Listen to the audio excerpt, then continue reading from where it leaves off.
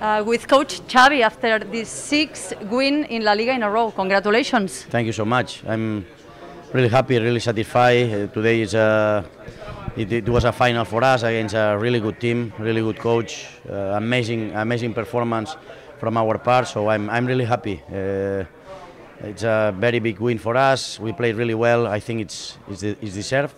So I'm, I'm really happy today. It was very difficult to generate clear chances, uh, but what that did your team had? Patience to, to try to cook the, the game? I think we we create many chances, but at the end uh, it was the problem. It was the last pass, the last decision, the last making decision. So, so they defend really well the, the box with uh, the two centre backs uh, plus uh, Gudelj, uh, Joan Jordan.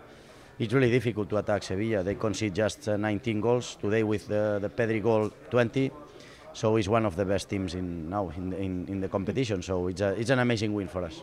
That Pedri goal, he, he uh, stops the time uh, another time, like, like in Galatasaray uh, in Turkey. Uh, what does this player have? It's like a kind of magic.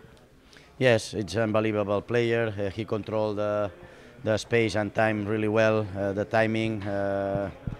He committed really well to defenders, so amazing performance. Not only the goal, he made the difference for the team, but the, the game that he play and all the team, uh, how, how we work in defense, how we press high, how we press on loose.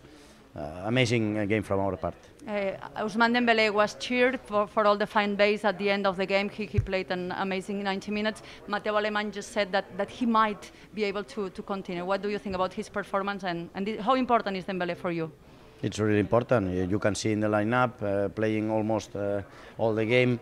So let's see, let's see how is the situation. Now it depends on him and depends on the club. Uh, everybody knows my, my opinion about uh, Ousmane. It's, it's very important for us. It's a player, can, he can make the difference and he's doing the, the difference now for the team. Last question, Xavi. Six win in a row in La Liga. You are uh, reaching a second spot.